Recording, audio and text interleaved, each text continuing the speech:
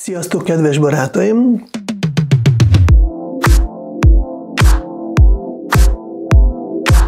Ma utolsó téma lesz a látásról, és ma beszéljünk, hogy mi van anyag mögött. Mi a legtisztább látás. Meg az elején kicsit beszélünk a harmadik szemről, mert ez a téma tartozik még az előző videóhoz. Akkor kezdjünk.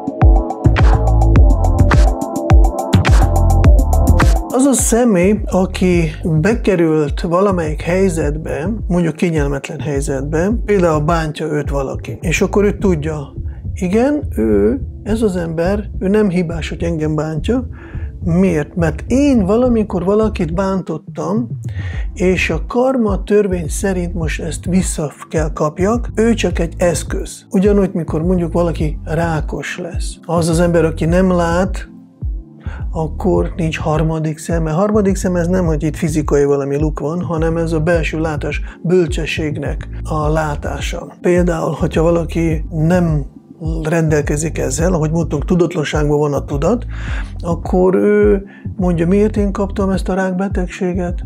Miért pont én? Én olyan jó ember voltam, én senkit nem bántottam, én csak mindenkinek mindent adtam, és akkor most hol az igazság, hol Isten, miért engedi Isten, hogy ezt megkapjam? Na ez nem bölcsesség. A bölcs, a harmadik szem, a tisztánlátó, vagy a látó, ő tudja, hú, hát nagyon negatív ember voltam, lehet, hogy élesködő voltam, kihasználtam sok embert, másokon éltem, mint a rákos sejtek, ők is ilyen egoisták, ahhoz, hogy ők jó érezzenek magukat, megesznek a másik sejteket, és én értem, és akkor most tanulok belőle, hogy nem szabad ilyen lenni, akkor ilyen, ilyen ezt kapok. Szóval ez a bölcs látás. És mikor valami vele történik, ő mindig tudja, hogy ez valamilyen múlt cselekvésnek a visszahatása. Akár hogyha jó dolog történik. Valaki, aki gazdag, rövidlátó ember, azt gondolja, én, nekem, az én erőfeszítésemnek köszönhetően lettem gazdag. A távollátó, vagy harmadik szemmel rendelkező, így tudja, csupán azért, mivel én jó tetteket végeztem előző életekben, ezért most kaptam jó intelligenciát, jó lehetőségeket, hogy gazdag lehessek. Ugyanúgy a szépség ezzel jár, gazdagság, egészség, boldogság, ez minden azzal jár, hogy én hogyan cselekedtem. Mert hogy valaki intelligens és nagyon-nagyon rendkívüli okos ebbe az életbe, ez nem csak úgy véletlenül van, hanem ez valamelyik múlt életnek a következménye. Rendben.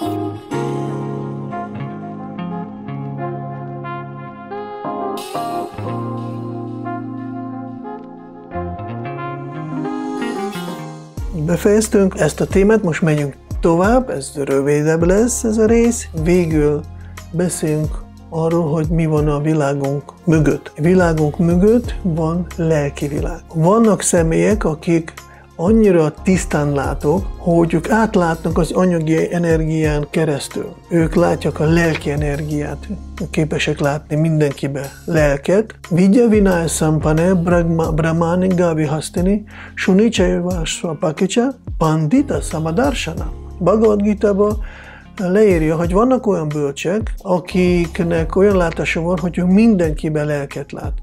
Egy tisztességes emberbe látja a lelket, elefántba, látja a lelket, tehénbe ugyan, ugyanúgy látja ugyanazt a lelket, mert mindenki lélek, kutyába, kutyaevő emberben, mindenhol látja a lelket.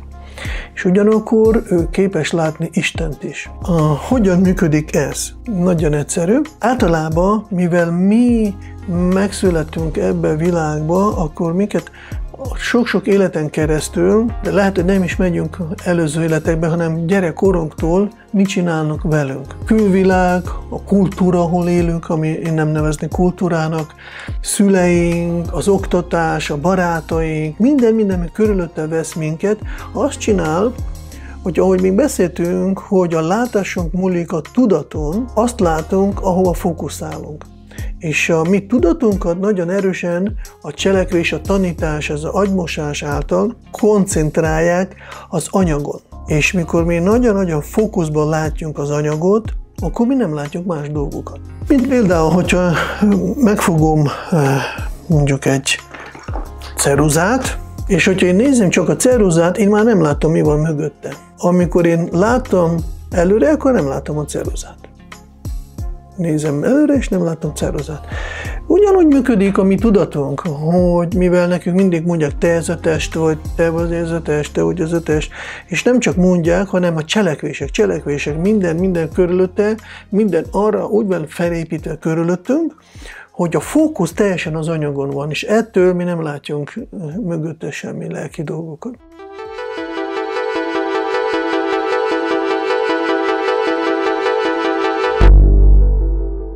A folyamat pont az, hogy meg kell tanulni fókuszálni lelki dolgokra.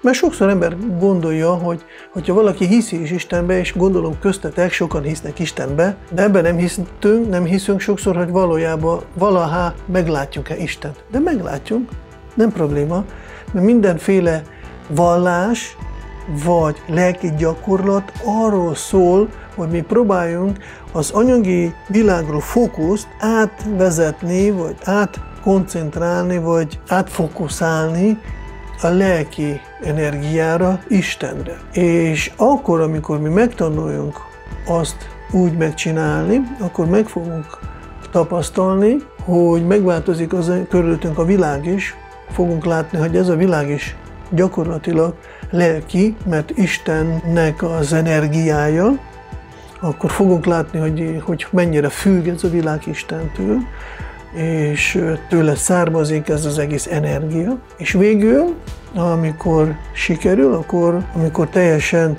megszabadulunk az anyagi fókusztól, akkor tiszta élesen fogunk látni Isten szemtől szembe. Ezért például mi fő gyakorlatot gyakorolunk, ez a mantra. A gyerekkorunktól, hogyha megnézzünk, a fókuszunkat az anyagi energiára, anyagi világra a hangok keresztül történtek. Szép vagy, te vagy ez a test, okos vagy, menj enni, vedd meg egy ruhát, hogy nézel ki, és így tovább, és így tovább, és csak a hang, hang, hang, hang, hang. A hang fókuszál. Mint például megyünk múzeumba. Megyünk múzeumba, és ott általában nagyon jó, hogyha van idegen vezető. Hogyha mi csak így bemegyünk egy múzeumba, akkor csak így, ha, igen, igen, szép. De az idegenvezető fog mondani, ne nézzétek ott, ott a sarokban, látjátok ez a kis dolgot, és akkor elmeséli, hogy fú, milyen nagy történet van körülötte. És mit csinál? És ő hang, a hanggal mondja, és akkor a hangvibráció által segít nekünk észrevenni, és oda fókuszálni, és meglátni ezt a dolgot. Szóval ez történik, az hangvibráció annyira ráfókuszált a mi tudatunkat, hogy most mi már benne vagyunk. Nagyon nehéz most levenni a fókuszt. De ugyanúgy hangvibrációval mi tudjunk a fókuszunkat átrakni, vagy áthelyezni Istenre. Hát ez a titok. És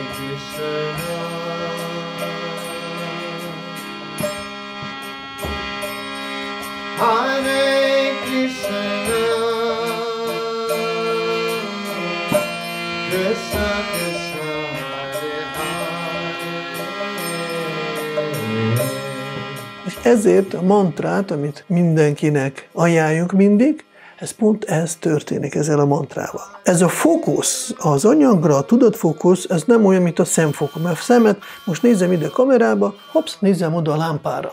Ez könnyű, de a tudatunk a karma által oda van ragadva. Szóval nem úgy van, hogy akkor most nem fókuszálok, mindjárt meglátok Istent, nem, hanem a karma megragadta a mi fókuszunkat az anyagon. Ezért nagyon nehéz, mert belül történik, ezek a szamszkárok, élmények, sok-sok-sok minden vágyaink, gondolataink, ez minden anyag, anyag fókuszban van. És ezért, amikor mi elkezdjünk mi vibrálni mantrát, akkor ezt a karmát megtisztítja, és mikor nincs karma, akkor legyengül, és nem tartja már az anyag a mi fókuszunkat, és akkor képesünk majd lelki dolgokra fókuszálni, látni Istent. Nagyon egyszerű. Akkor kezdjünk el is veletek vibrálni, a lelki fókuszt állítsunk be magunknak, akkor mondjunk el háromszor a Hare Krishna mantrát. Itt ki van rakva nektek a mantra, hogy tudjátok olvasni is, és akkor háromszor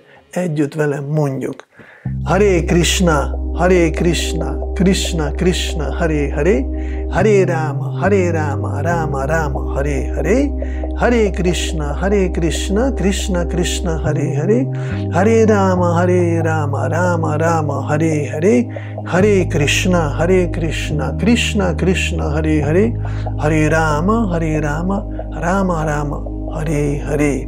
Köszönöm szépen, sok boldogságot kívánok nektek, remélem, hogy jöttek a bucsiba, és ott majd találkozunk személyesen. Addig is sok boldogságot kívánok. Hare Krishna!